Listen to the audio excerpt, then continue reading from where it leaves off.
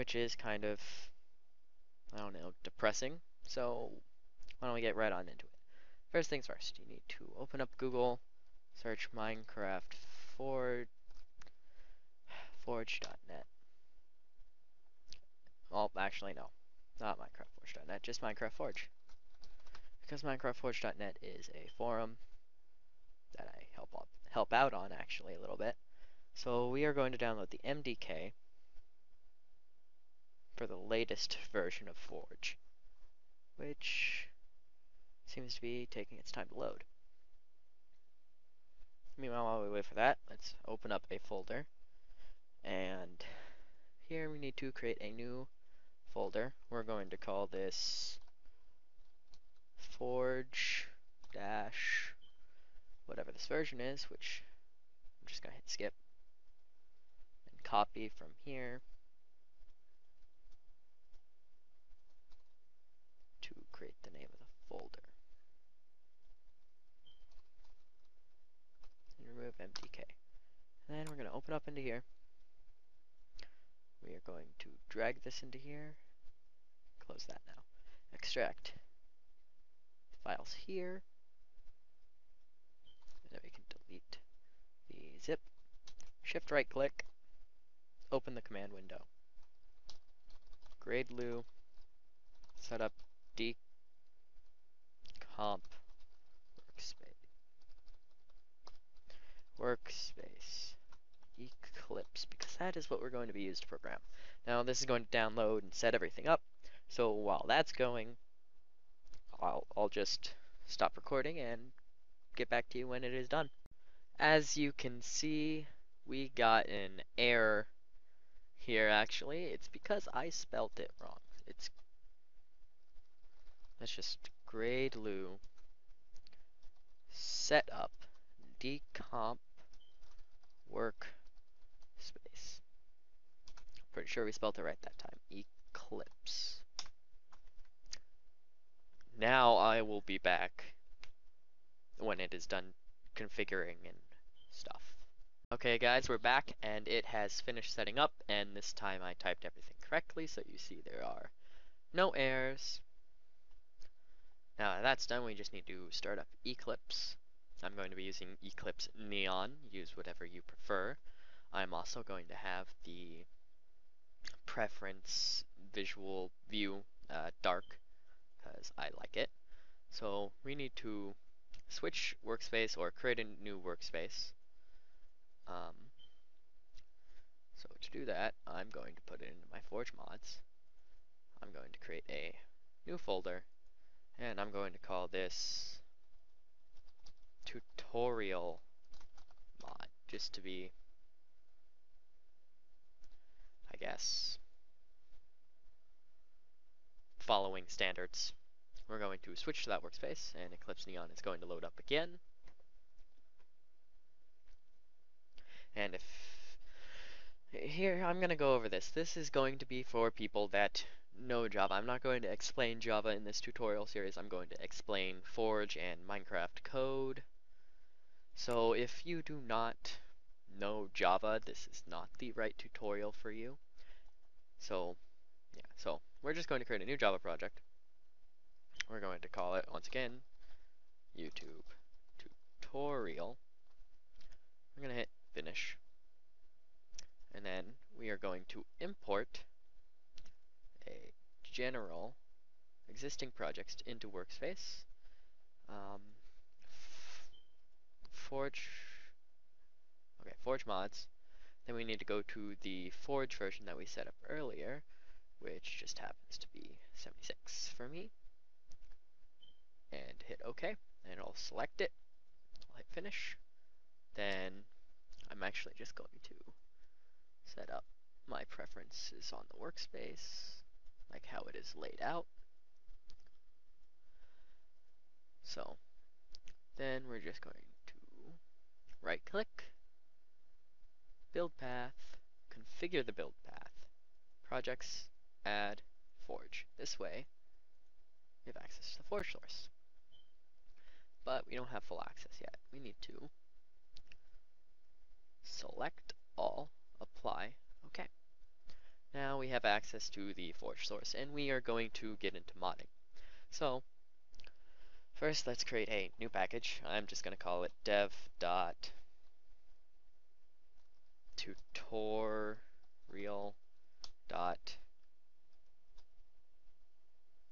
hmm, YouTube. sure, I like to have three, it's just a preference. Three or more. Then we are going to create a new class. It's going to be a public class, and we're just going to call it tutorial main. Or, not we're, I'm, I'm going to call it tutorial main. Name it the name of your mod. Um, I'm going to zoom in a little bit so you guys can see. We are going to, actually up here we're going to create a annotation. Wow. Mod ID is equal to a string. We're not going to fill that out yet. Um, name is equal to a string. Version is equal to a string. Um, I always forget the name of this. So we're going to import Control Shift O and Eclipse. And it's lagging a little bit. Oh, I know why it's lagging. I'll, I'll be right back, guys. Okay, guys, we are back. Don't mind that one I typed down there. That was just me starting up my uh, recording again. Accepted, accepted Minecraft versions, which is also a string. We are going to put brackets, then we are going to do 1.10, um, comma, no, yes, I think that's the structure, 1.10.2. I don't really have to type this much. So down here we are going to make a public static final string, call it mod ID and then we're going to set it equal to our mod ID. For me, it's just going to be tutorial. And then, obviously, we're going to do tutorial main dot mod ID. Stuff like that. So we're going to do this for each of them. And yes, I know I could put them all in one line, but no, I'm not going to do that. 1.0 public static final string name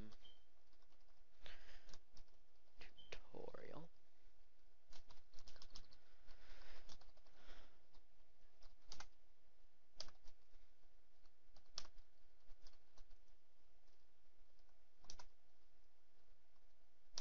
whoops name so now that we have those, we're just going to create a, uh, we're going to use another annota annotation at event handler public void pre-init fml pre-initialization event event. Then we're going to create two more methods at event handler, and they're all going to be public void we're going to call this init fml initialization event. And I spelled that wrong right here. It doesn't really matter. It's just, I guess, OCD. But, and then this is post init. init. These are basically references to Minecraft. So pre-initialization of Minecraft, initialization of Minecraft, post-initialization of at least that's how I've come to understand it. So now we have these three methods. We're going to create a couple variables up here that we aren't really going to use right away. At instance mod ID, oops, mod ID, public, wow, tutorial main. We didn't mean to create the constructor. Or at least I didn't. Wow, that I've never seen that before. We're to call it instance. Obviously, we don't need to import anything except for that at instance. Then we need to do at side proxy. This is going to take a client side string, and these are going to be paths to proxies at server side. And then right here, we're just going to create a public, well, server proxy. We're going to call it proxy. Um, and it actually needs to be static. So now we're actually going to create the class server proxy. Put in dot proxies. You're going to create three methods in here. Public, here, we can just copy these. I don't know if that copied, so I'm going to do it again. And paste those. Remove the at event handler on them. And then remove the import, because it is not necessary. Then we need to create a new class. We're going to call it client proxy. It's going to extend server proxy. Finish. And then we are also going to paste those methods in here and unimport that. We need to basically take the file path to tell it, well, we're using these ones, not the other mods ones. This is going to be client proxy at the end, and obviously this is going to be dot server proxy. Now Forge should recognize this as a mod. And we are going to launch the client.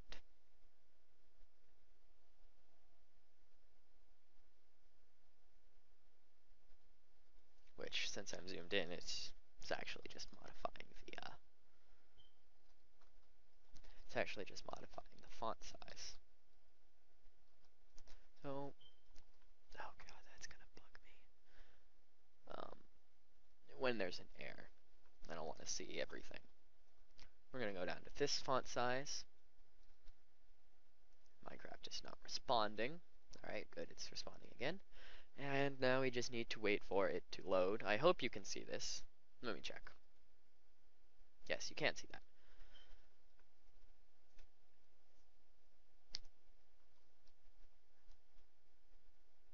It's almost done just loading the models. This is the new JSON system. It takes a longer time to load up, but it is overall a better system in the end.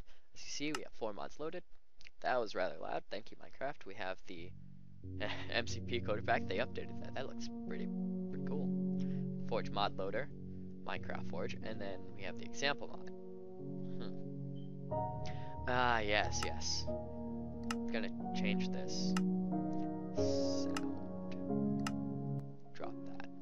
Drop that. Okay. That's good enough for now. Reason it didn't run our mod, or load our mod, is because we forgot to add it to the class path. As many of you guys know, as long as you know Java, you know what the class path is. If you don't add it to class path, it, it, it doesn't load because it doesn't see it. So apparently client's already running. That is a lie, because I quit game. Let's just start up a new one. Take a little while. See you when it uh, when it loads. Alright guys, I'm back. But just as I got back I noticed something wrong with the code. But it, it does load. That's all we really wanted to do. But we don't add anything yet. That is something I will cover in the next tutorial. But first, I should probably correct this mistake. Before we can actually use this, we need to make it a static variable. Don't worry about initializing it, that's what this does. And yeah, I guess I'll see you guys in the next tutorial.